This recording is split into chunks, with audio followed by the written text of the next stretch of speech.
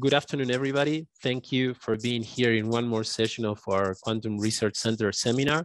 Um, today, um, we have the pleasure of having uh, Dr. Andrea Alberti from the University of Bonn. He's the senior scientist and principal investigator at the University of Bonn. Um, his expertise is in the field of experimental quantum physics for manipulation and control of individual atoms.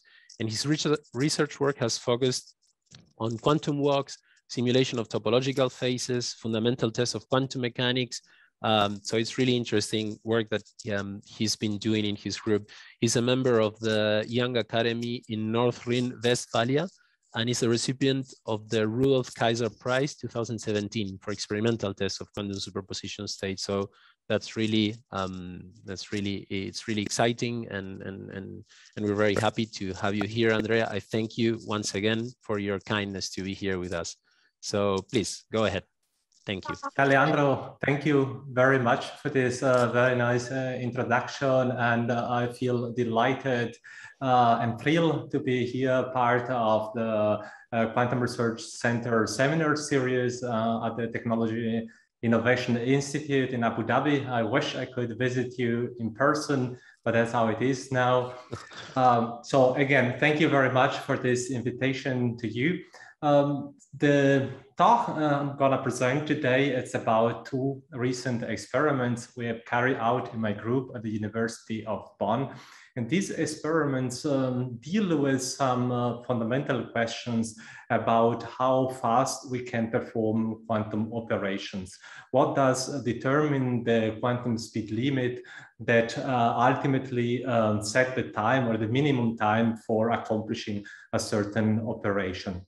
These are uh, questions that are of fundamental character and inherently related to the dynamics that is dictated by the Schrodinger equation. But besides this fundamental interest, there is also some technological relevant aspect behind this question, namely the fact and something that we are well too familiar here, I believe in this audience, uh, with the fact that uh, there is the coherence. And that coherence limits the number of operations that we are able to perform within uh, coherence time. So there is a clear technological interest in speeding up the, uh, the rate of processing information or performing operations in time to beat the coherence. And uh, also for the practical, uh, from a practical perspective, and as an experimentalist, one would like to know how hard should I still optimize the system before I hit uh, some fundamental limit and beyond that, uh, there is no point I really insist. So the way we tackle this question is looking at the fast dynamics of uh, matter waves. This is our specialty. And just to set the stage on giving you the feeling of what uh, we are uh, going to do or I'm going to present to you. So we consider the dynamics of a wave packet. In this case here in the illustration, you see it's preparing the first excited state. And then suddenly we shift the lattice potential and this excite matter waves. And these matter waves start to evolve and we want to establish tools and techniques that are able to quantify the evolution rate and to answer this question, what determines the limit of the evolution of such uh, matter waves. So the first to address a similar question um, is a famous mathematician back already in the late uh, uh, 1600s. So, and this is uh, French mathematician Johann Bernoulli, who at the time addressed uh, the scientific community with a challenge. I, Johann Bernoulli, addressed the most brilliant mathematician in the world.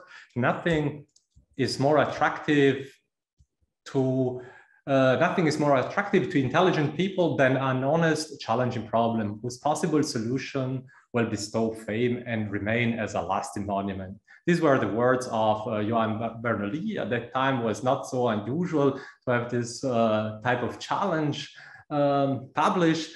And to this uh, uh, challenge participated several of the best minds uh, of that uh, time, including his uh, arch rival, his brother Bernoulli, and de L'Hopital, and other famous mathematician, including Newton. All of them presented a valid solution with different type of approaches. Um, the problem uh, specifically was to find uh, the best way to uh, let a massive body slide down from point A to point B in the shortest possible time. And uh, one possibility, perhaps the way too naive possibility would to choose um, a straight line as a curve. But this indeed uh, is not optimal. And already Galileo Galilei before Bernoulli um, realized that fact that indeed is advantageous to acquire a certain uh, speed through a, a, fast acceleration in the beginning, uh, paying the price for a longer curve to minimize the time. However, this is also not optimal, and the optimal solution is something in between and has been found out to be the cycloid. And uh, just to convince you that this is really the case, this uh, uh, little animation showing that indeed it's uh, our cycloid, uh, the winner, you know, the little competition. This is the, the classical uh, famous brachistochrone problem of Johann Bernoulli. And when it comes to quantum, um, I think here in the audience or immediately uh, comes to mind uh, the Heisenberg uncertainty uh, principle that relates time and energy. When we speak of the Heisenberg uncertainty principle, this is a very well posed uh, type of relationship when it comes to um, position and momentum, as these both are uh, observable and there is no problem. However, when uh, we consider uh, the, the similar relation for time and energy, there is a caveat here. And the caveat is namely the fact that uh, time is not unobservable um, like energy is. And this already back then, at the time Heisenberg introduced this relationship, uh, posed some uh, questions and was source of great uh, debate. And it was uh, only later to Soviet uh, physicists Mandelstam and Tamm, and I'll show you in a moment, that found a way to pose this problem in a more rigorous uh, setting. What these two physicists consider is namely the evolution of the overlap of the quantum state with the state at time zero. And ask the question, how does this uh, physical quantity that in principle one can measure, and indeed, I'm gonna present you experiments showing how we can measure this, how is this physical quantity constrained? And so we know that for a very short time, this must be equal to one. And indeed at zero time, it's uh, one for a unitary evolution. And uh, at some point, uh, this quantity can reach uh, zero. So when the state get to an orthogonal state with respect to the original state. And we know from Heisenberg that this time must be something related to uh, h bar divided by the uncertainty, so the energy uncertainty. However, this is not so clearly specified with Heisenberg, and we will see how Mandelstam and Tamm uh, find a solution to this. One possibility would, would be to consider a simple, naively uh, consider a simple straight line. Uh, but this indeed uh, turns out to be uh, wrong as it is well known in the quantum Zeno community for very short time. Uh, this uh, overlap must follow a quadratic behavior in time. And in fact, the quadratic coefficients is indeed related to the energy uncertainty. So we know this must uh, have the shape of a parabola, but perhaps we can make this uh, curve even something falling steeper. Can we perhaps use these extra terms here to get even faster? And the answer to this is unfortunately no. And this was uh, the finding of Mandelstam and Tamm who identified a bound that excludes all these regions. So it tells us that this overlap um, well, of the time evolved state with the state of the origin uh, cannot uh, decrease faster than what is set here by this curve. And thanks to Mandelstam and Tamm, we also know how to specify exactly this prefactor. So we now that we now know that the minimum time to reach an orthogonal state, what is called orthogonalization time, is equal to pi over 2 times h bar divided by the energy uncertainty.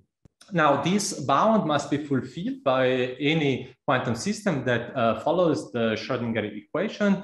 And uh, in particular, we have uh, instances where this bound is exactly saturated. And this is well known in the literature on quantum speed limit. And this is the case of resonant Rabi oscillation. When we have a two-level system, please. So Andrea, one question to see if I'm following you. So the, the origin from the origin of these bounds. So you say that they can be derived just from the from Schrodinger's equation. Yes. But, but like so with any Hamilton, I mean with any Hamiltonian, there's no assumptions on the type of Hamilton. The Hamiltonian can be time dependent, of course, and you know, like whatever Hamiltonian you have plus Schrodinger's Schrodinger's equation, then you have to satisfy this bound. Am, am I is my understanding correct? That's correct. So in the first place, what we are going to consider here is the case of a unitary uh, time evolution, and this holds for any static Hamiltonian. And this already anticipates in a way the second part of the talk where we are going to consider time dependent. Uh, time so where we introduce a drive and then we will see how a different uh, story uh, develops uh, from there when a drive is included. Uh, yes, but historically, right how Mandelstam and Tamm introduced this uh, was to consider time independent system. And but, thank you for this thank question. You. But, th but then who's delta E actually? Because so this delta E depends on the Hamiltonian, right? Like you have an initial state, you have a final state, and then like how, how do you precisely define this delta E or or is there some ambiguity in its uh, I guess no, but no, uh, it's me who fails to no, see it. no, now, thank you also for this question. So delta E is uh, well defined. There is no ambiguity as this refers to an observable and it's the Hamiltonian or the energy. And this is, uh, if you want, is the, is the standard deviation or the square root of the variance of, uh, of the energy operator of the Hamiltonian evaluated on the initial state. I see. So I, see. I said okay. I the Hamiltonian okay. is static, but I didn't say that we consider an eigenstate of the problem, and this will become clearer later. If we have uh, prepared a system not in an eigenstate, the system then will be free to evolve, and it has in fact an energy spread. Okay, thanks. Great. That that that answers I my question. Uh, yeah, Thank you. Mine, oh. Sorry, René, just please. to follow up on this because I thought now, okay, so Andrea, you say delta E is clearly not let's say you have two states of an atom, it's not the energy difference between these two atomic states, right? You say it's now the variance of the initial state. That's the delta E, the energy variance of the initial state. Yeah. Yeah, exactly. So let's uh, consider an example that I believe okay. uh, everybody here is familiar with is the Rabi oscillation. If you consider that we have a system that is resonantly coupled, and then you know in the dressed uh, basis uh, that if you look at the eigenstate of the of the coupled system, then those are split by uh, an energy that is equal to the Rabi frequency that drives the system. So, and uh, if you prepare a superposition of spin up and spin down, so what you uh, uh, what you effectively have uh, realized at the beginning is to have a superposition of both uh, the eigenstates of the driven system. And so the energy spread is related to the uh, Rabi frequency itself. So the more you drive the system, the higher the energy uncertainty is in this case. And then you observe the Rabi oscillation. And that's, uh, I would say, the very simple system that uh, we understand very well. And uh, what we are now, uh, uh, what we set out to do is to investigate how this bound, uh, what role this bound play in more complex dynamics where many levels are involved, as is the case of a matter wave that is excited. Thank you. Yeah, so this is uh, part of the story. Then uh, there is, but the story is not finished here. And uh, it took uh, surprisingly some more years uh, for discovering a second type of bound, something again of fundamental character. And this was uh, due to Margolus and Levitin uh, towards the end of the 90s. Um, and identify a different bound that is clearly a different functional shape and uh, set a different type of uh, uh, orthogonalization time, and I call this the Margolus-Levitin orthogonalization time, and tells us that there is a minimum time to reach an orthogonal state and is proportional to the inverse of the mean energy. So we see here that we have these two fundamental quantity, the mean energy and the energy uncertainty, both of them uh, play an important role. And what we are going to do now with this experiment is to elucidate also their interplay between these two bounds, okay? And so to summarize here what I said in this introduction, we have seen that there are two fundamental bounds on the quantum evolution rate, uh, specifically considering the evolution of the of this quantity, the two time state overlap. One is uh, due to Mandelstam and Tamm, and the other one from uh, Margolus and uh, Levitin. And these uh, bounds expressed in this way essentially answer to the question how small can the overlap be after a given time t. But uh, by simple algebraic uh, manipulation, we could rewrite these bounds in perhaps a more familiar form as you might encounter in the literature on quantum speed limit. This is nothing but uh, algebraic uh, manipulation of these bounds and uh, answering the question, how short can the time be to reach a given overlap with respect to the initial state. So this brings me now to the outline of my talk. Um, after this introduction, I'm gonna present you um, first an experiment where we uh, put these to bound to the test and we learn how they intervene in a many level system as an excited matter wave. And then I, I switched to a, a related problem, a problem also more closely related to the original brachistochrone problem of uh, Bernoulli. And uh, I'll show you how here uh, some new twist uh, occurs in the story and how things change as we introduce uh, a drive. And Leandro already asked uh, this question before. And finally, some outlook about experiments I envision uh, for the future. So this uh, experiment is uh, the result of a collaboration uh, with the group of Yoav Sagi at Technion. And uh, here are the main uh, players in this work that we have uh, now posted on the arXiv. Um, Manolo, um, Manolo Rivera Lam is my student from my group and worked together with uh, Gal Ness, a student of uh, Yoav Sagi, and uh, I had the pleasure to have Gal Ness for a period of time carrying out experiments uh, in Bonn. So is uh, not everybody here in the audience is uh, an expert of cooled atom system. Allow me to give you a short introduction on the basics of uh, the experiment. So we work with uh, uh, ultra cooled atoms trapped in optical potentials. And in first uh, place, we consider the optical potential resulting from an optical standing wave that is originating from two counterpropagating laser beams. And this standing wave creates region of maxima and minima of the intensity, and our atoms are trapped, uh, trapped where the intensity is at a maximum.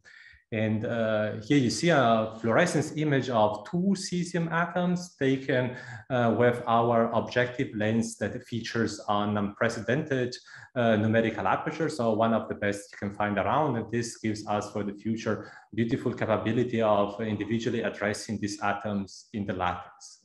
But what is uh, for today most important is the fact that uh, these atoms come with um, two internal states at least that we can uh, control and define our qubit. And, uh, and here's the specialty of my group and what set us uh, apart from other experiments in optical lattices is the fact that we can create optical potential that act selectively on uh, the two different internal states independently. This means that we can create an optical potential that traps atoms uh, exclusively in, uh, let's say, spin-up state, or um, an independent potential that selectively traps atom in the spin-down state. And this is important control, and you see very soon how we can uh, make use of this to uh, perform the test of the um, two uh, quantum speed limit bounds. So this is perhaps my only technical slide here for the interested audience that uh, wants to know how we realize these uh, two different optical potentials. These are two optical standing waves that are perfectly overlap in space and they come in different polarization of the photons. So here you see the first laser beam that interferes with a counterpropagating laser beam. And this is of right circular polarization. And this is one standing wave. And then we overlap this standing wave with a second one of left circular polarization. And uh, because of the choice of the wavelength, we exploit an effect that uh, make the atoms in spin up be sensitive only to right circular polarization and atoms in spin down be sensitive only to left circular polarization optical traps. And uh, by controlling the phases through acousto-optic modulators of each individual laser beams, we are able to steer this optical standing wave with very high precision. And it's something that I'm quite proud of, that ultimately we reach a precision of one angstrom in uh, setting uh, exactly the relative distance between these two overlap standing wave, and we can also drive this in time. Overall, this can be seen as a polarization synthesizer of polarization states of light, as in fact, by choosing the phases and the intensity, we can dial any polarization we want here with uh, high precision and very fast uh, within the time of a microsecond time scale. And I would argue that this is um, the most performing polarization synthesizer you could find around. So as I said, we work in the regime of ultra cold temperature. So we start with our atoms here uh, at our room temperature and we bring them down through fairly standard laser cooling techniques uh, in the few microkelvin regime. And then we borrow some techniques from the trap ion community, namely laser uh, sideband cooling techniques to further reduce the temperature uh, and the entropy of these atoms and preparing them in the motional ground state with um, high reliability. So typically we get one or 2% error. And uh, so with, let's say 98, 99% uh, fidelity, we have atoms uh, prepare in the motional ground state of our optical potential. So now here is the challenge. We want to excite the matter wave, and in particular, we want to be able to measure directly the this quantity, the two time state overlap, meaning the overlap or the time evolved state where the state at the origin. And the challenge is namely uh, related to the fact that uh, this seems a ill-posed problem. How can one, through a direct measurement, uh, determine the overlap of the system evolving time with the system that has not yet evolved in time? And the solution uh, is provided by this tool that we have at hand, namely the fact that we can manipulate uh, potential in a spin-dependent fashion. So we can start, as shown here in the illustration, with the atom in the motional ground state, and then add a second optical standing wave, this time of different polarization. And these two standing waves are here represented, uh, one on the bottom and one on the top, but in reality, in the experiment are perfectly overlapped spatially, but we can displace them and we can control this displacement very precisely.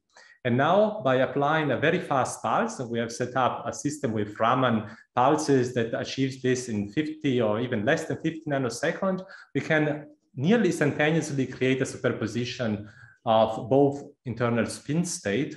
And now what we have realized here is essentially a copy of the same system, where in one case it populates an eigenstate of the system, and in the other state we have excited or we have prepared a highly excited state. And if now we let the time evolve, the state that has been excited, this will develop into a matter wave, while the other one populating a um, eigenstate will essentially remain there. And um, at most, it simply picks up a phase.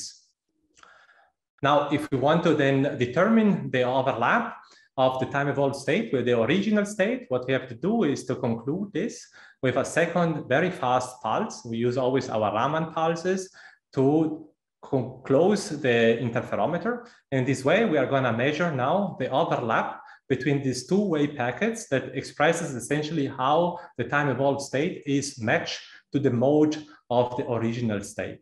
So if you are more familiar with optics, you can think of a laser beam that is split and then recombined. And if the beams that then are recombined are nicely mode matched, so you would see a high visibility. But if uh, the beam, meanwhile, has uh, drifted apart in terms of, in the terms of the mode, then the visibility would drop uh, significantly. So that's exactly what we do here in our experiment, where we record so-called Ramsey fringe, scanning a Ramsey control parameter.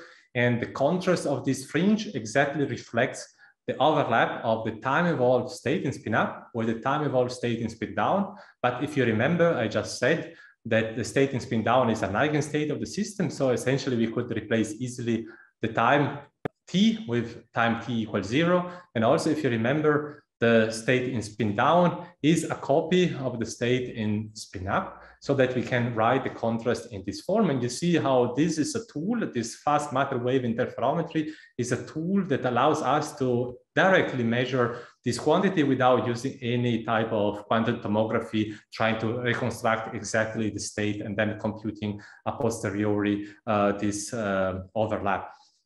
The system Andrea, is Andrea, please. Can I, can I ask you something? Why do you say they're a copy?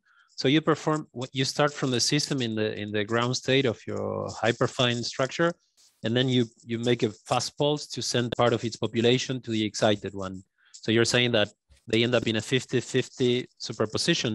That's what you're calling a copy or, or Yes, probably copy is an improper term, but is a superposition of mm-hmm. uh, spin up and spin down state. And from the point of view of the emotional degrees of freedom, uh, I would argue that in that sense, it's a copy. So we are essentially uh, having the same wave function at time zero uh, that is in spin up and spin down. Okay. But these two um, wave packets will have a very different evolution in time. True. Right. Okay. So this is how we create the excitation, and the, as we were saying, it's a for this first experiment is a time independent system. But if we create now a superposition of different uh, motional states, then as they pick up different phases, the system evolves, as you've just seen in the little uh, movies. And what we are measuring is this uh, two-time state overlap that can also be uh, written in this form. It's a sum of different terms uh, with weights that essentially account for the population of the different state that we have excited and the phases that depends on the energy of these states. And these are the experimental uh, result. It's showing a, a trace, a long trace, where we measure this quantity. And as this quantity is a complex object, we are able here to plot the real and imaginary part. And these are not random uh, oscillation, but actually um, contain much physics about the system. And in fact, by modeling this, we are able to reconstruct this uh, weight coefficients about occupation at different levels and the spectrum included. Um, this is very interesting as uh, tool for inspecting the system. But uh, for today's talk, I'm more interested about the very short time dynamics, as this is the place where the Margolus, Levitin, and Mandelstam time bound apply. And so we are going to zoom in in this uh, very short time uh, uh, domain. And we are going to look now at different uh, type of realization. And here are three representative data set sets as we increase the displacement of, uh, of our lattice potential, that means that we are creating this uh, wave packet at time zero further and further away from the bottom of the potential itself. And in a way, we are creating higher and higher excitations. And this is expressed now in units lambda over two, uh, represents distance between uh, two lattice sites. Um, yeah. So seems that there is some problem with the audio. I continue. So what we see in these three data sets is that uh, by increasing the excitation, clearly the dynamics get shorter, uh, is shorter with respect to small excitation. And also we uh, see that, uh, and perhaps this the first uh, things that one notices is that in all three uh, examples here, both uh, bounds are fulfilled. So we have all data points outside of the excluded um, regions. Um, if we consider higher excitation, this is the case where our data points get closer to the Mandelstam-Tamm bound, okay. but we also see that in this case, the Margolus-Levitin bound essentially plays no real role. Leandro, shall I continue or we? Let me let me just um, please guys. There is, uh, there is, some, in, in the there is someone there is someone that is not muted. I can see it appears as Andrew Chopra. Please um, mute mute yourself, guys. Otherwise, it makes no sense for me to ask to Ravi to to give us all the right to to speak, right? I can see someone that is not uh, muted. Please, um, everybody should be muted while not speaking. Okay, this is very annoying for the speaker. Thank you very much, guys. Sorry, Andrea. Yeah, thank you very this much, is, Leandro. It doesn't very, annoy me, but I'm not sure if it's so, so clear for the others. Yeah, um, thank you so much. So there is the case here on the right where all points are constrained by the Mandelstam bound, but and this is uh, when we carry out the experiment was for us the most surprising uh, finding here is that we found situation where we observe a crossover from being constrained from the Mandelstam time bound into the region of times where the Margolus-Levitin bound what was setting the limit for the quantum evolution rate. So you clearly see that here the points cannot get too close to the Mandelstam time bound because the Margolus-Levitin bound kicks in and completely exclude this uh, region. So the time at which this occurs, we call it this critical time for the crossover. And we carry out some further, further experiment, experiment to investigate, investigate I'm sorry, Leandro. I see, I hear my voice coming back because of this problem of the. Uh, can we disable? Um, see, I continue to see somebody. There must be... I continue to see somebody that is that was not muted. I just muted him now. Um, Did you? Okay. should, yeah, it should be fine. I'm sorry for this. I don't uh, know. I'll need to solve this um, later, but we can hear you well, yeah. Andrea. Yeah. Yeah, thank you very much. So continuing, um, yes, we carry out uh, experiments to understand uh, how this crossover occurs. And uh, the origin of the crossover is inherent to the different functional forms of the, the two bounds as one is related to the energy uncertainty and the other one to the mean energy in a different way. And here there is a square root appearing. And the crossover occurs when the Margolus-Levitin bound uh, is uh, higher, when this quantity is higher than the Mandelstam uh, curve.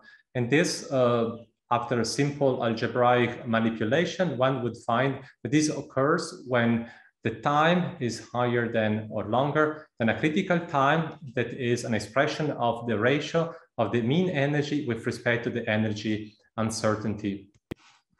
So we could rewrite this condition for the Margolus-Levitin regime when the crossover occurs as a condition on the mean energy being smaller than energy uncertainty or equivalently expressed in terms of the orthogonalization times when the Margolus-Levitin orthogonalization time is longer than the Mandelstam one. And we look uh, in, uh, at this question, uh, realizing different experiments under different conditions. And this diagram here will now express our data point as a function of uh, the inverse of the Margolus-Levitin orthogonalization time, which is an expression of the mean energy versus the energy uncertainty. And this is the region where we expect and where we also find this crossover between the two uh, bounds. And for all other data points, the crossover is not simply occurring. And here we see three different data sets for n equals zero, n equal one, and n equal two. So meaning preparing different states. And in the case of n equals zero is uh, rather similar to uh, more classical states, but we have also the possibility to create highly non-classical states like n equal one and n equal two. And I want to emphasize this point that points here on the right hand side uh, are points at the high mean energy. And this occurs when we are placing the wave packet right on top of our potential here. And in this case, uh, so our wave packet clearly couples into the continuum. So we are creating a superposition of not just a few uh, motional states, but rather a continuum of states. And the wave packet is completely free to tunnel away and fly away from the lattice. And so this gives a, a wide range of parameters that we can scan with the system. And we identify these as the region where the Margolus-Levitin uh, bound plays a role and to understand why is this the case. And uh, the question that immediately uh, popped up uh, to us was was this, is this a rather uh, usual situation or something very specific of our experiment? Uh, to answer this question it helps to recognize an analogy here with a simple two-level system, the case of a qubit. If we have very small mean energies, so small excitation, in this case, our matter wave is rather confined at the bottom of the potential, and we uh, nearly populate uh, a tiny bit of the first uh, motional uh, state. In this case, essentially two levels are occupied and the dynamics can be uh, reduced to that of a qubit. And we see from the theoretical expectation that the qubit case of exactly a two-level system is uh, within the Margolus-Levitin regime. So uh, ultimately, the answer to this question, I would say, is rather yes, an affirmative, and the Margolus-Levitin regime is a rather uh, typical situation that occurs, uh, especially when we have uh, uh, fewer levels. And it's also instructive to consider the case of a coherent state um, for which the energy spectrum follows a Poissonian distribution. In this case, we see that uh, the theoretical curve nicely fits our experimental data for small mean energies. However, we also see that when the mean energy increases further and further, we clearly depart away from this picture of semi-classical state, as in fact, when we have populated uh, essentially with our matter wave uh, the top of the hill of the potential, there the potential is not even anymore confining, but is anti-confining. So we don't, we are not even in a harmonic approximation, but it's a, uh, an anti-harmonic potential.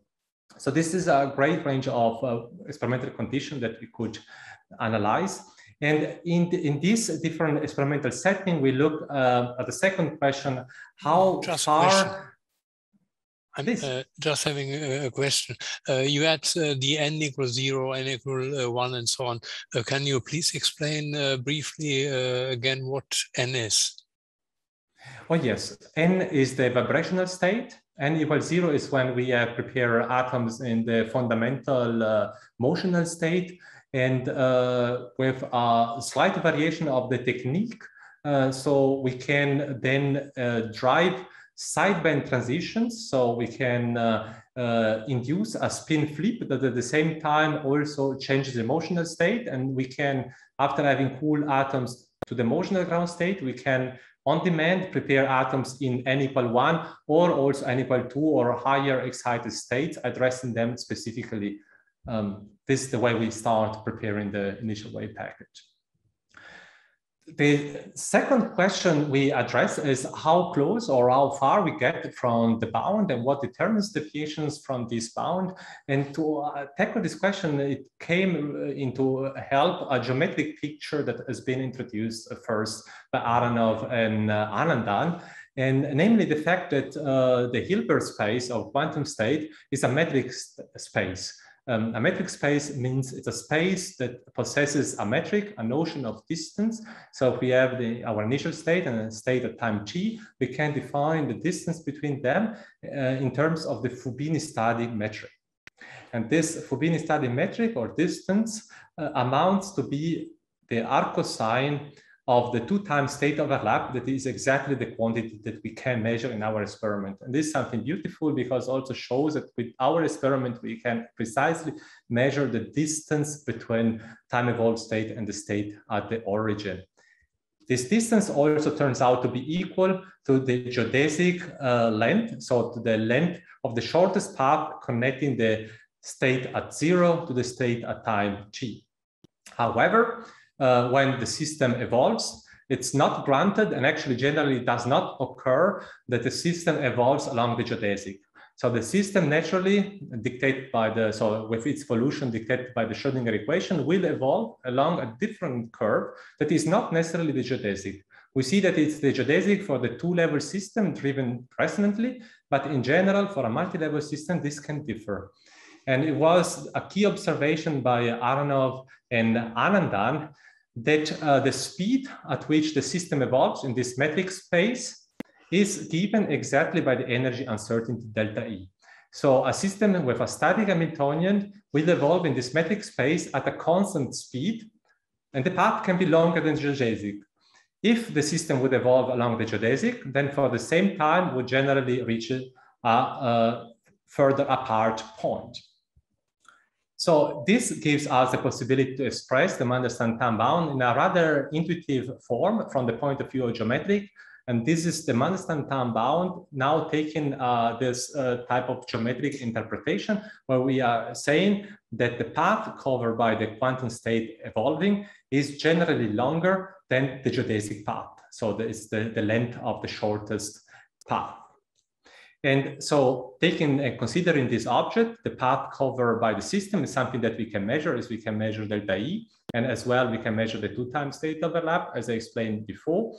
Now, we express the uh, um, path covered by the state, um, considering the Schrodinger equation, in a power uh, series in terms of fraction of the time, in terms of the Mandelstam time orthogonalization time. And uh, here we have this parameter C, and this parameter C represents our deviation coefficient.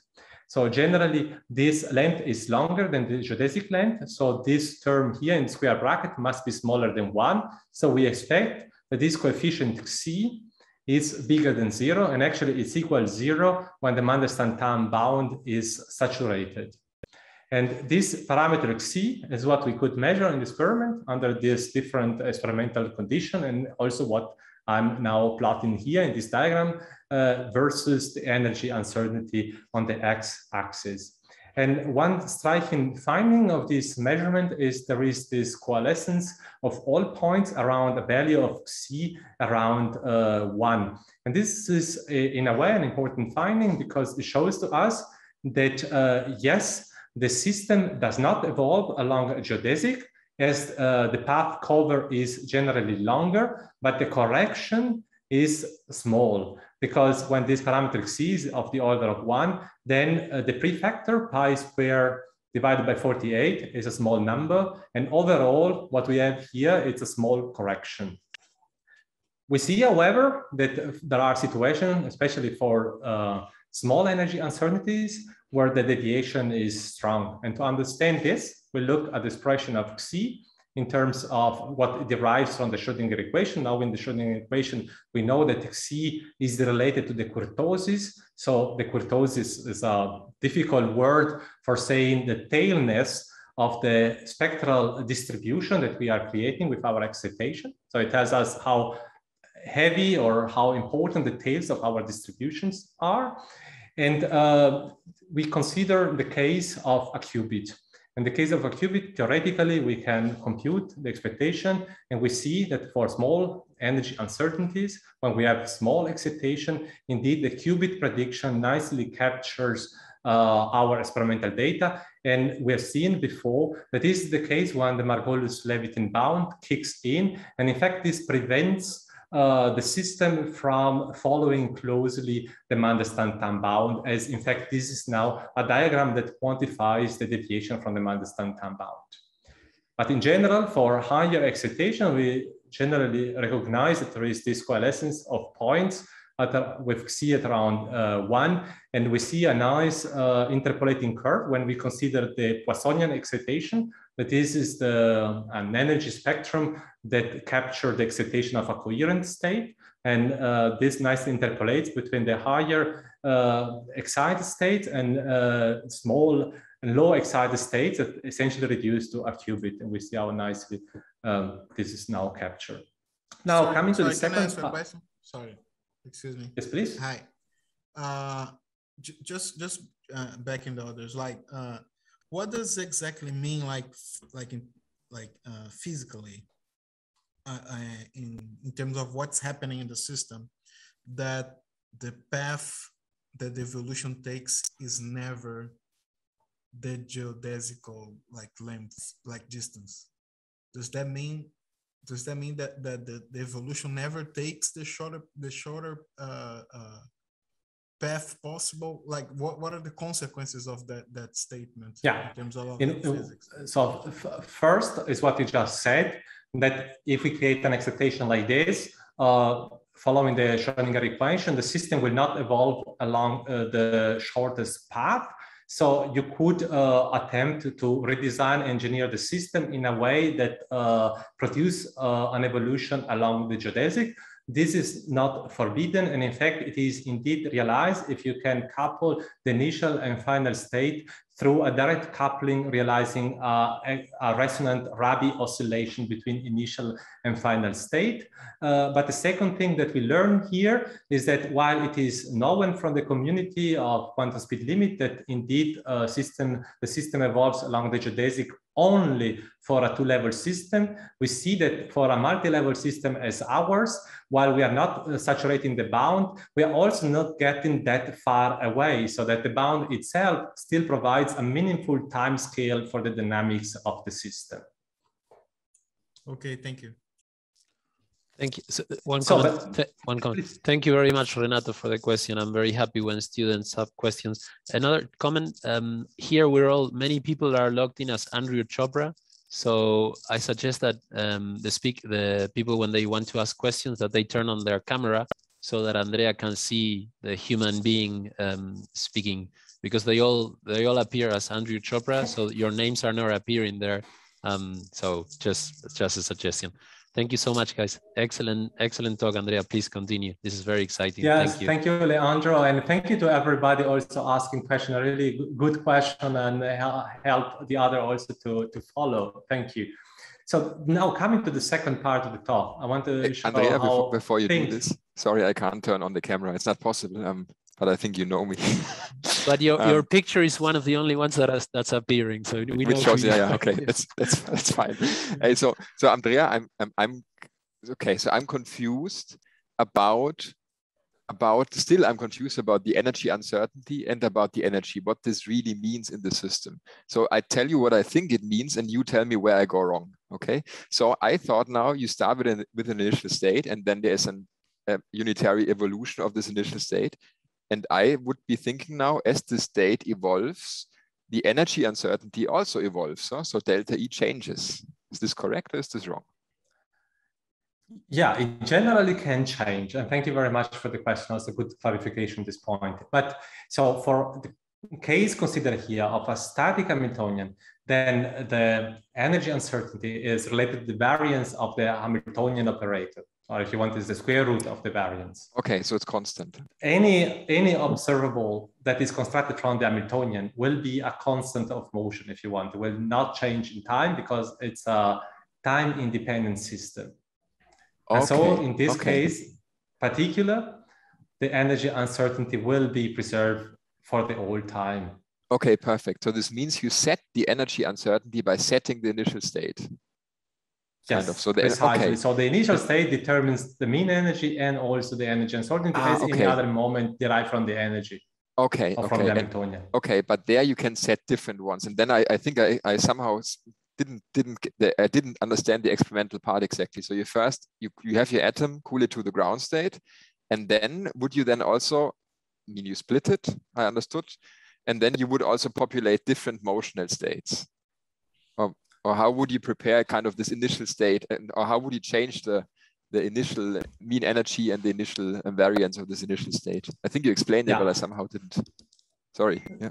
Yeah don't worry. So our control parameter we, we don't have infinite control. Uh, we could in principle to make the thing simple so we use as a control parameter the shift of uh, the potential that atoms in spin up experience with respect to the potential in spin down so this delta X is something that we can control with angstrom precision. So way sub nanometer precision, we can define this delta X. And as we then create the superposition of the two states, at this point, we put the wave packet uh, on this steep slope. Now you see here, if I put the wave packet rather here, I have excited something with a rather large energy uncertainty because here the potential is steep and my wave packet is uh, uh, generally as a certain width. And so this gives a quite large spread of energies that you are populating ah, here. Yeah, yeah, okay, nice. The, I can increase the mean energy if I would put the wave packet rather here on top of the potential lead that was I was referring before to at. And indeed, we do experiment like this, and I present data points that correspond to this case. We put the wave packet here. When the wave packet is here, then the mean energy is the highest, but the energy uncertainty smallest. is not the highest. Yeah. And not even the smallest. The smallest is when we are in the ground state. When we put the wave packet here, then uh, it's uh, the energy uncertainty is small because the potential is uh, -huh. is not very steep, but not zero because uh, we are not an eigenstate of the of the Ah, yeah, okay. the potential. Okay, very good. No, super, very, very intuitive explanation. Thanks, fantastic. That's exactly what I was was missing. Good. Okay. Perfect. Super. Andrea, I have another question. Actually, I had to ask. Uh, so I'm Luigi. Uh, Hi, so Luigi. I, yeah, I have another question uh, that I actually should have asked before, but I think I had this kind of problems with, with the sound. Say, uh, I um, let me let me double check. So these um, bounds that you um, that exist, so this uh, the two bounds, uh, I I understand that they refer to non-interacting particles, right? So it's uh, one particle. Is it correct? This is correct. However, I think these bounds would also apply for interacting systems. Mm. And uh, we didn't experiment with that. It would be beautiful to do so. And I believe there is nothing that prevents this bound to apply also to interacting systems. Oh, indeed. I mean, your experiments yeah. uh, contains kind of interaction. So I think uh, you, with your experiment, you in, indirectly proved a piece of the story that somehow these bounds somehow work, I don't know why and in what sense, also for in presence of interaction, which is uh, very remarkable, I think. Okay, so let me see. So interactions between atoms here in our experiment are not yet explored, if is that what you are referring to. Mm. How come? Because I mean, these are, you have a Bose condensate, no? So there are few. No, atoms. these are single atoms uh, these are just one, this. Uh, yeah, yeah, these are, so you control one atom. These are uh, single atoms at the time that have been probed. Okay. okay. Um, but I, I'm with you. So I think this would be very interesting to explore this in the in the regime of interactions. And these bounds need to apply also there. And indeed, we cover one piece of the story, but one can learn also something for interacting systems. Okay, thank you. Thank you. So now to the second part of the talk, it comes to um, something closer to the original problem set by Bernoulli on the brachistochrone. Some problem slide. Okay, so we are asking the question how we can optimally drive the system from uh, uh, one side to a distant location in the shortest time as possible. And this, in this kind of setting, we are allowing the system to change in time. So we have a time-driven Hamiltonian. And one possibility would be uh, the boring way. So it would be to follow an adiabatic transport, but this would take very long time. And if we are encoding some quantum information inside internal state of the atom, this information might well have decohere before we reach the adjacent site. So this is not the right way to go. Instead, we could uh, consider uh, an idealized case, but this is somehow instructive to consider where we don't have any bound on the energy. So we assume that we can control infinitely high energies in our system with harmonic potential that is unconstrained. In this case, there is no limit how fast we can perform this transformation, at least within non-relativistic uh, quantum mechanics. So we start with a linear transport, and then this excites a motion excitation. But then if we time the transport correctly, we can completely refocus excitation uh, down to the ground state and we reach our target state. This, however, would not work if we have, as in any realistic condition, a system where we can control only a finite amount of energy. And this is here represented by the top of our potential. So there is a cap. Maybe this is determined by the laser power that we have available or any other physical constraint that uh, is there. And in this case, if we transport the system along a linear transport ramp, as we have just seen before, eventually the system will not return to the motional ground state, but will leave the system in some wobbling state, which is not good. And we want to rather improve the overlap of the transporter state with our target state. So our figure of merit is this fidelity. And we have established protocols that allow us to precisely measure this fidelity. And uh, we have uh, worked together with our theory partners, uh, so Simone Montangero, Tommaso Calarco, Antonio Negretti for the theory of uh, quantum optimal control to optimize the transport of atoms in the best possible way. And here comes control into play. And this is a bit the story of the waiter that wants to reach uh, the next table in very short time, is in a hurry. And before accelerating, it tilts slightly the tray to avoid the champagne to spill over. And uh, we use similar trick here to transport our atoms. So the point of departure, these are shortcuts um, to adiabaticity, something that uh, one of the uh, absolute expert is uh, Gonzalo Muga from Bilbao. So instead of transporting the atoms linearly in time, we rather set uh, some discontinuous jump. And then uh, this provides us already a good starting point. And this is only the initial ansatz uh, to the quantum uh, optimal control problem. And why is, are these jumps beneficial? For the reason that if we consider the uh, dynamics from the point of view of the co-moving reference frame, so the reference frame moving uh, together with the optical lattice as it is driven or our optical trap. So as we start to accelerate, then uh, the potential would get uh, tilted and the minimum of the potential is then shifted. However, if we allow, this would uh, naturally create quite some important excitation of motion. However, if we allow uh, a jump of the potential position as well before accelerating, then we can make such that we recenter the uh, minimum of the potential with respect to the wave packet, and this minimizes in a way motional excitation. But it cannot just prevent completely motional excitation because our potential is anharmonic and as we increase the acceleration more and more, so the tilt becomes larger and larger, and eventually the confinement becomes less and less. And that's where then optimal control plays an important role. Second uh, jump occurs uh, just in between for similar reasons. This uh, prevents again uh, to displace the wave packets away from uh, the minimum uh, of the potential. And this is the solution that comes out of this optimal quantum control problem.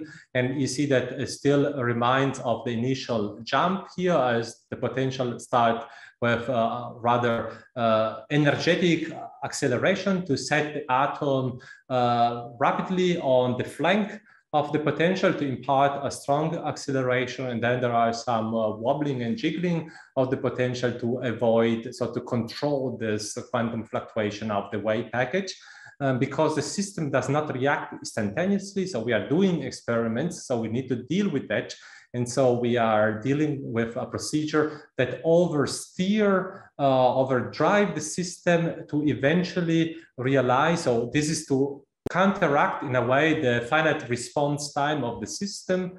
And by overdriving like this, what we realize, and these are measured data, is that the optical potential follows nicely the trajectory that indeed our uh, quantum control theory tells us it, it, should be. And with this at hand, with this tool at hand, we did the experiment, and these are the main results. And we see that uh, for all transport times uh, that are relatively long, then uh, our transport fidelity is within the experimental uh, precision or error bars compatible with uh, unity fidelity. However, there is a point as we decrease further and further the time when then the fidelity suddenly drops down and there is no way that we can then recover the fidelity. Uh, and in this way, we observe this transition from a quantum controllable to a quantum non-controllable uh, system. Um, and so in this way, we observe here uh, the quantum uh, brachistochrone time. This is essentially the, the shortest time uh, with which we can perform this uh, transformation uh, with relatively high fidelity. And it's instructive and quite uh, insightful to look at the question how this compares with the Mandelstam time bound that we learned from the first part of the talk. And we see here, this is the region that is uh, excluded and hatched out by the Mandelstam time bound. And we immediately see one thing is that this time scale, it doesn't match with the time scale we observe in the experiment. There is an important mismatch, and I will come back to this in, in a moment, uh, because I think here is something that we have learned when we carry out this experiment. And also we were able to determine a second different bound using some geometric argument that instead better captures the right time scale for the quantum brachistochrone time of our experiment. Essentially, we are excluding this region, but you see now we're getting more close to what uh, is indeed doable uh, with uh, the experiment. And the final uh, points I want to emphasize here in this experiment is uh, the comparison with the linear transport uh, protocol. In that case, we achieve significantly lower fidelities. It's nice to see these revivals as uh, in fact there are magic times for which we refocus motional excitations, but these revivals are not perfect because of anharmonicity, because we are not dealing with an infinitely deep uh, potential. And the other thing uh, I, I, like to, to, to emphasize here is the high uh, data quality where there is such a nice match between uh, experimental point and our theoretical expectation, revealing that we also have a nice uh, protocol for measuring uh, this fidelity of the transport fidelity. But back to the physical question, how does it come that the Mandelstam time bound kind of fail to describe the right time scale of this uh, process? So here is a reminder of uh, the inequality we have encountered in the first part of the talk. So generally, as I said before, this Mandelstam time bound can be saturated when we have a Rabi oscillation resonantly driving two-level system. And this can be done, for example, if you have these wave packets when there is a local coupling that couples them, and then this could be realized. However, if we consider the transport, so when we want to reach a far apart state, a state that is far away in terms of the width of the wave packet, when the overlap between the initial and the final state is vanishing, then there is uh, no way that through a local coupling operator, we can induce this Rabi oscillation between them. In other words, it's essentially impossible to teleport a matter wave or a atomic wave packet of a massive particle from point A to point B without passing through the intermediate states.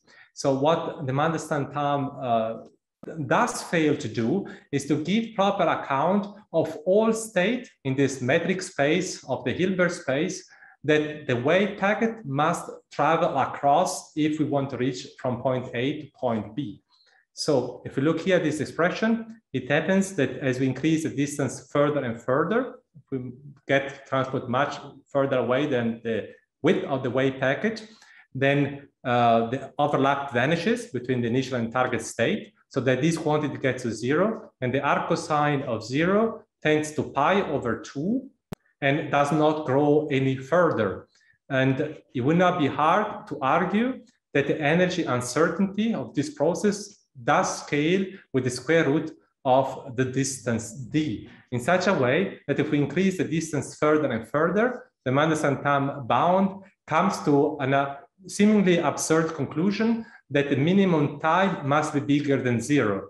And this is uh, revealing a completely wrong scaling and uh, not really helpful uh, dynamics. So luckily we could uh, improve on that and we could provide a different type of explanation that does uh, properly take into account the state in between that the system has passed across. We come up with a different scaling uh, uh, where this is the distance in terms of lattice height. And for us in this experiment, d was equal to one. So that essentially the quantum brachistochrone time uh, was uh, of the order um, had to be longer than the oscillation period uh, in the harmonic approximation. And this reveal in a way a fact or emphasizes an important fact that to speed up your uh, dynamics, you need to control more and more energy resources. So you need to have deeper and deeper potential. It's maybe some obvious conclusion, but is uh, in a way very sharply emphasized here, how the minimum time depends on the harmonic uh, oscillation period and the way on the depth of the, the potential and also our data point reveal uh, this uh, behavior uh, that follow this uh, expected curve. Now, as we um, accumulate a little bit of delay, I would say that I would just uh, probably uh, move only very quickly over the outlook part, uh, just mentioning that uh, our group, we have been working on the realization of discrete time quantum walks.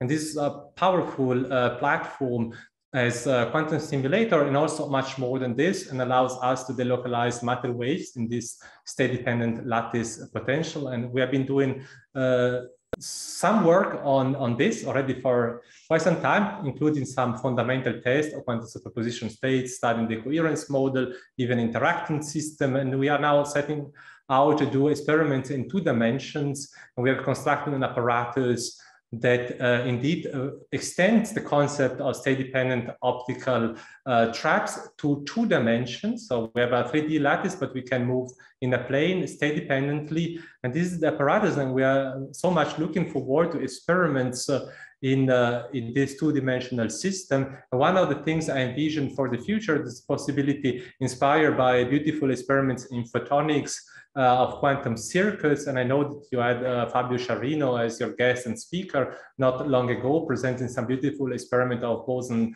sampling with this machine. One of the challenges in photonics are losses. And one of my hope is to use uh, ultra cold systems uh, of ultra cold atoms, of indistinguishable atoms to realize in a similar fashion quantum circuits that are entirely uh, programmable and perhaps with some new twist, including the possibility of having interactions uh, between atoms and something that we have done in the past to realize uh, a Hong-Ou-Mandel interference between indistinguishable atoms. And here is just uh, one possible experiment that is already highly uh, for me, inspiring with uh, two indistinguishable atoms about revealing quantum statistics with a pair of distant atoms. And this is an instance already of an interesting quantum circuits, maybe more interesting for physical and philosophical perspective rather than technological one, but I believe there is a great potential to grow also for quantum technologies. And this brings me now to the conclusion. Um, as we are a little bit uh, behind of time, just speed up through uh, the points uh, that I presented. So these are two fundamental bounds that we have now tested on the quantum evolution rate. And we are seeing the crossover between them in a, in a single uh, setting. And uh, we have shown that uh, indeed these bounds provide a meaningful time scale for the evolution of a quantum system for time independent uh, Hamiltonian. But also in the second experiment, we have revealed that uh, some limitation when it comes to um, multi-level system that where we reach states that are not connected through local operations. And there we see some failing of the Mandelstam time bound. We realize this with optimal quantum control, and we have seen the transition between quantum controllable to quantum non-controllable system. And also I emphasize how important is the role of energy that can be controlled in the system. And with that, I conclude and I thank you very much for your attention and also for the many questions that I've already received. Thank you very much, Andrea, for the fantastic talk. This is really, really wonderful physics and uh, very clear. Thank you so much. Um, thank you also for being punctual uh, with the timing, but we, you, you, you did get lots of questions. I guess there are some more questions uh, from the audience. I would um, give preference to students. So Renato today asked a question already. If there is some other young um, student uh, or postdoc that wants to start with the questions, um, then um, then you can go ahead. Otherwise, I guess that Luigi and Rene may be there, perhaps with some more questions. Yeah, Leandro, yeah, I have a, a very quick question. You okay, Carlos, thank you. Yeah, Carlos. So uh, so I so present yourself because he cannot the, the speaker yeah, cannot see you. I, I cannot turn on the camera All right. because I don't have any option to do so. Just yeah. oh, I see. I'm a PhD student here at TII. Thank you. Yeah, that's that's fine. Yeah, thanks. Um, yeah, um, I have a question related to one of the last figures, the, the one that you show the fidelity of the uh, initial state and the target state. Um, can you put the one of the last slides that you showed? It's a very quick question, but yeah, that one. Yeah, please. Yeah, yeah. I, I don't understand how it's possible that for the optimal quantum control, uh, sometimes the fidelity is larger than one. How can that be possible? So this is related to our detection technique, how we detect the um, the fidelity or the population in the motional uh, ground state. And uh, the procedure uh, involves some losses and we have to renormalize by this. Mm. There are some statistical fluctuation and sometimes uh, uh, this uh, leads to something higher than one. Mm. You should bear with me that we have now taken a lot of data points um, with single atoms. So this took some time and indeed these error bars can be made smaller by increasing the statistics. But mm-hmm. here we wanted to really investigate a wide range of, uh, of times. I see. Okay. Okay. Thank you. Thank you, Carlos, for the question. Does anybody else? Um, we have, yeah, we're already a bit uh, behind schedule, but um, one or two more short questions we can we can afford. Um, if anyone wants to ask something. Um, uh, yeah, I have, a, I have a like a very basic question, more like a philosophical one. I just wrote this down, okay, where you said, hey, you you started your talk with a with a time energy uncertainty uncertainty relation. You said there are these problems, right? And then you said one problem is that time is not an, an is not an observable in the quantum mechanical sense. Can you can you say what is what is the issue with this? What do you exactly what do you exactly mean by this? Well, uh, you know, probably this is a question more for theorists, but there is uh, ways to give proper sense of this uncertainty relation between delta x and delta p in terms of in the operational sense, in the sense of operators. Mm -hmm. But uh, what does it exactly mean, uh, a spread or RMS of time? Um, so back then, at the time of the Heisenberg, there was great debate, and also von Neumann was involved into this, and many others. And at best, what they provided were examples of a physical setting where uh, it's, uh, it, it, was kind of providing the order of magnitude uh, for determining a certain energy or determining a given state and the minimum time that needs to be uh, investigated the system. But um, it was not uh, clearly um, and operationally specified. And I think what Mandelstam and Tamm here did is to provide a rigorous way to give a procedural or operational way to define uh, the Heisenberg uncertainty relation for time and energy. Okay. Cool. Um, can I ask yeah, something I, else? I also oh, have sorry. a, a oh, very, Luigi, go ahead then. Yes, yes please. I also have a, a, say kind of a very general question or comment. Say uh, it's again with interactions concerning this. Um, so you said that this, actually this bounds, uh, uh, you, you, can found this bounds also in presence of interaction, right? But uh, say um, you know for sure that actually there is a say one of the say important problems nowadays is understanding this uh, so it's kind of thermalization. No? So you bring the system out of equilibrium, then you uh, try to understand what is the uh, the asymptotic behavior you know, when the time uh, increase. And of course, this has to do with overlap between wave functions, right? So uh, I, I think that uh, this bounds, uh, I expect at least my naively, that this bounds uh, should be very affected by interaction. so um, is, is it true or, or not? Because I mean, otherwise, I mean, thermalization does not depend on interaction, right?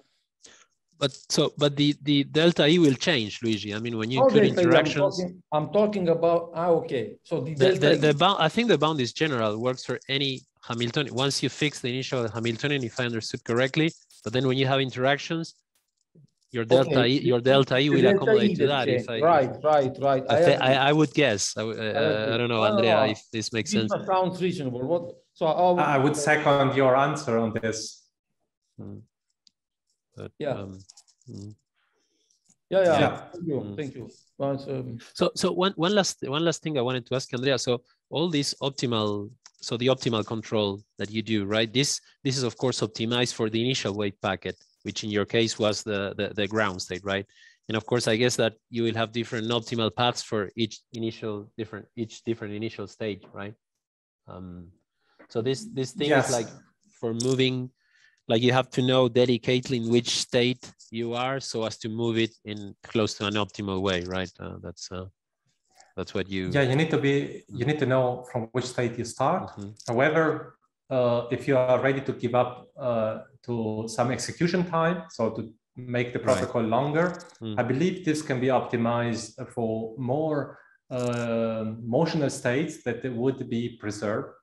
And in general, first it's a question of controllability. What kind of transformation can be done? So can you map um, the first three or four motional states into again the first four motional states given an arbitrary unitary and uh, mm.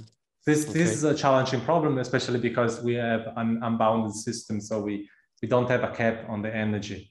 Right.